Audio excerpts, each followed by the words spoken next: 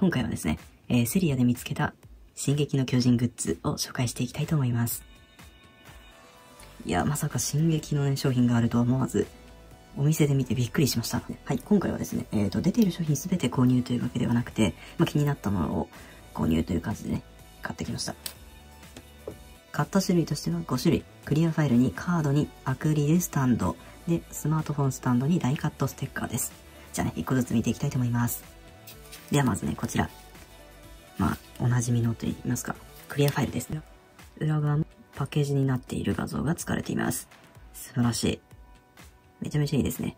まあ、今はもう、いないね、えー、人も何名か映っちゃってますが、いや、いいですね。やっぱこの時、第1期はね、すごい楽しい時期ですよね。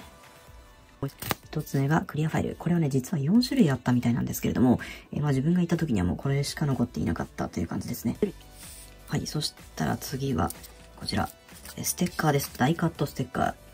これが、エレンに、アルミに、ミカサというね。これは全部で8種類あるようです。とてもじゃないけど、100均と思えない。ね、こんなの普通ね、まあ安くても300円ぐらいしそうな感じのものがまさかの100均で売られるというね。素晴らしいですね。めちゃめちゃ可愛いし、かっこいい。はい、そしたらね、お次は、こちら。えー、アクリルスマートフォンスタンド。こちらも、えー、クリアファイルと同じ柄と、こっち側ね、はい、エレンとリヴァイがいるものになっています。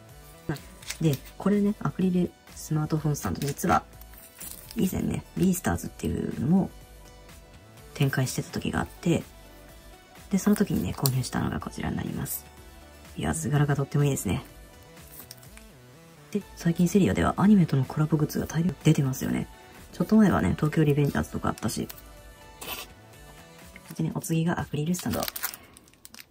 えー、これはね、全8種類なんですが、買ってきたのは、エレン、ミカサ、アルミン、で、サシャ、ジャンと、えー、エルビン、ハンズですね。うん、リヴァイが売っていませんでした。残念。これはだから7種類ですね。惜しくもコンプはできずという感じです。そもそも、これはすごく人気があるみたいで、エレンもね、ミカサもアルミもね、全然見つからなくって、えー、実はね、3店舗、4店舗ぐらい回ってやっとね、見つけたっていう感じです。で、1店舗目でジャンとエルヴィンとハンジをゲットして、2店舗目でサシャをゲットしました。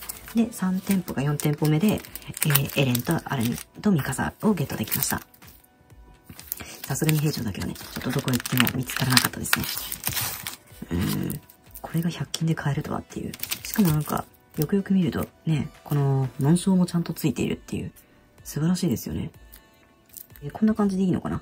手前の方にこの紋章を差し込みまして、裏側にね、キャラクターのエレンを入れましたが、めちゃめちゃいいですね。そしたら最後にですね、こちら。進撃の巨人のアクリルカード、こちらをね、購入してきました。これ1枚しか入ってないんですよね。で、結構ね、硬いんですよね。触った感じが。相当分厚いカードなんですかね。いろいろカードを集めていまして、今までに。こんな感じでファイルを作ってるんですけれども、これがね、ちょうど4つ入るんですよね、一面に。っていうことで、えー、4枚ずつ入ったらいいなということで、えー、今回は、ね、12パック買ってきました。いやー、どうでしょうか。これでダブらなければいいんですけども、ダブる可能性も十分にあるからね。そこも運ですよね。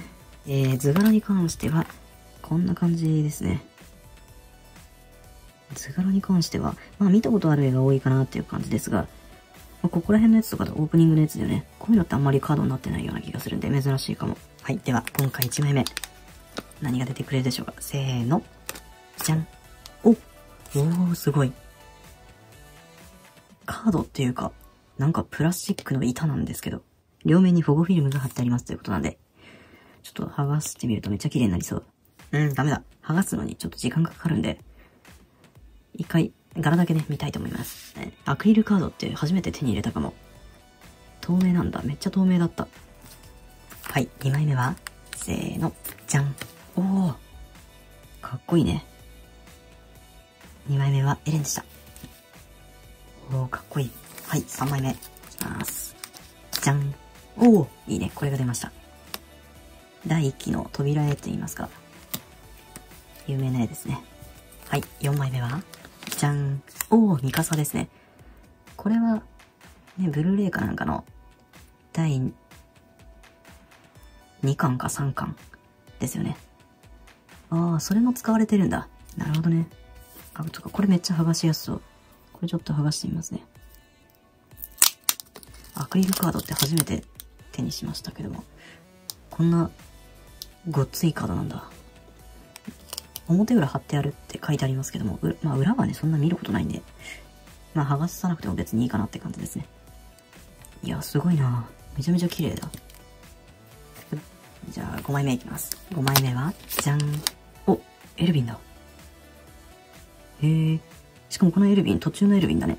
腕がちょっと、なくなっちゃってるエルヴィンです。いいね、いいね。このシリーズかっこいいね。あんまり見覚えのないイラストな気がする。お次は、おー、かっこいい。リヴァイだ。はい、お次は、じゃん。おー、まさかのダブリ。残念。あ、はい。ああ、まさかのこれもダブリ。せーの、はい。おー。いいね、アルミンだ。かっこいいね、このアルミン。はい。おー、いいね、いいね。パッケージの裏に載っているね。この柄が来てくれました。やった。これ欲しいと思ってたんで嬉しいです。お次は、じゃん。おー、エレンだ。あ、これも剥がせそう簡単に。いやーいいね。めちゃめちゃかっこいい。本当にアクリルカードってさ、カードファイルに入れておくだけじゃもったいないねこんなにさ、分厚いんだったらさ、本当になんか立てかけとくというかさ、どうやって使うのが正解なんだろうね。でも素晴らしいな、これ。今回ラストは、じゃん。おお、これも、裏に載ってる柄ですね。この、右から2番目のこれだわ。エルヴィンとハンジェのカードが当たりました。この後ろがレンガ調のシリーズ。これさ、何種類あるんだろう？これ8種類なのかな？今回のね、進撃グッズ、本当にどれも素晴らしくって、これはね、すぐに売り切れちゃうのまあわかるって感じですね。本当に良かった。買ってきて良かったし、本当に探し回ってきた甲斐があったなって思えるグッズたちでしたね。はい。ということで今回はここまでにしたいと思います。最後までご視聴ありがとうございました。